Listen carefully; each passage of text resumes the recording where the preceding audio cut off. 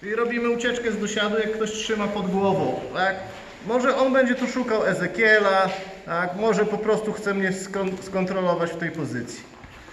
Pierwsze, ja chcę zrobić mostek. Czyli muszę unieść biodra do góry, tak? To nic, nic mi nie daje. Chcę go jeszcze skręcić. Tak? O, to mi nic nie daje. Dlatego, że ja z miejsca tego nie zrobię. Ja muszę się poruszać. Moje nogi idą na zewnątrz, tak żeby zablokować jego nogę, a moja głowa idzie pod spód. Widzicie, ja już zmieniam kąt.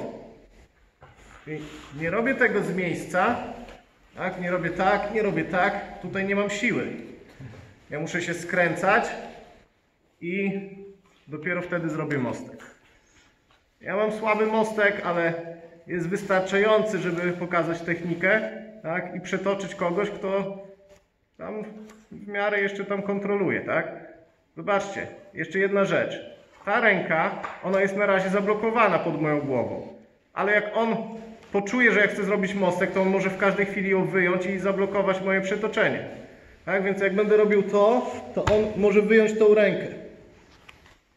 Może to być moim celem, ja mogę wtedy sobie zablokować ją i wyjść jakimś innym sposobem, ale jeżeli chcę go przetoczyć, to tą rękę mu będę blokował. Czasami tu sobie przy, przyblokuję, czasami tak sobie przyblokuję, różnie, jak tam chcecie. Ta ręka ma być zablokowana. Tak, więc się poruszam nogami w jedną stronę, głową w drugą i blokuję mu rękę. I teraz zrobię most, tak? I teraz idę na niej. I tu stabilnie, żeby po przetoczeniu z rozpędu on mnie nie przetoczył dalej. Jeszcze raz. Mamy dosiad.